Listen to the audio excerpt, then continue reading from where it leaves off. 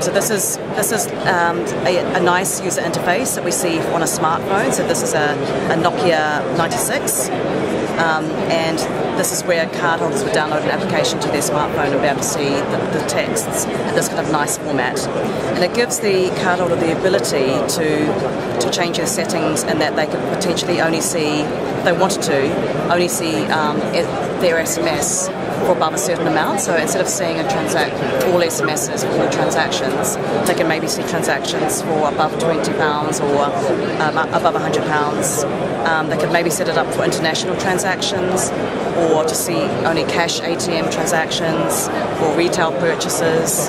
Um, so it gives the ability for the cardholder to customise and set their preferences as they please. Okay, so this is um, just a demonstra- for demonstration purposes.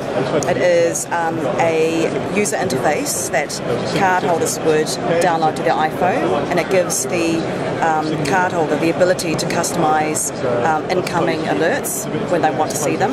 So if a cardholder wanted to potentially look at various um, transactions and keep a note of what they've spent, they can do that. Um, and they could email a, an issuer if they wanted to query a particular transaction or they didn't recognise the transaction or call customer services. That's what they could do.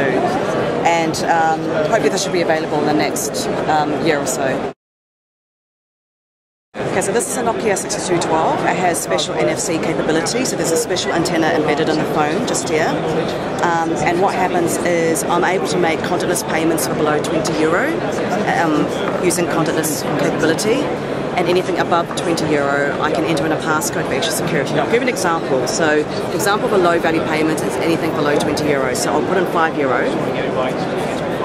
All I do is I hold the phone up to the reader and the transaction takes place.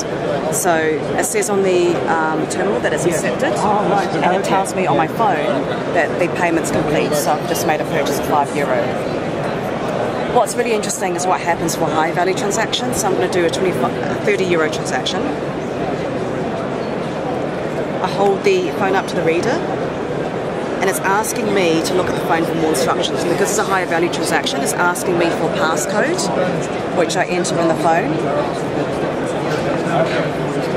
I hold the phone up to the reader, so it's like a two-tap system for a high value transaction. So if we look at what's happening today with application development just globally, we're seeing lots of really exciting trends in app stores, applications being developed for different handset operating systems, Android, iPhone, Symbian, Windows. But fundamentally, those user interfaces that drive the core payment technology sitting in a chip inside the mobile phone are dependent on the actual handsets themselves and the operating system. So what, we what we've done as Visa um, is we've, we've partnered with O2 and, and G&D to essentially test out our Visa mobile payment application on a SIM card using smart smart card web server technology that enables a user interface to be displayed on the device. It's kind of like you can imagine it. It's sort of like a baby server that sits on the SIM card, and using the network, the information to populate the user interface is actually obtained from the network and brought down to the SIM card.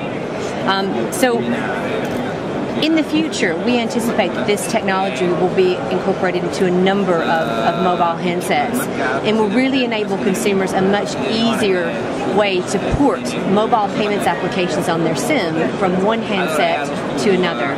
So literally take the SIM, SIM card out of the mobile phone, put it into another smart card web server enabled mobile handset without interrupting payments. So this is not something that's going to happen within the next year, probably not even within the next two years. But what we're doing is, Visa, in addition to rolling out products and services that we intend on commercializing over the next year, we're also we also have our eyes posed to the future about what other technologies can really make payments easier and more consumer friendly.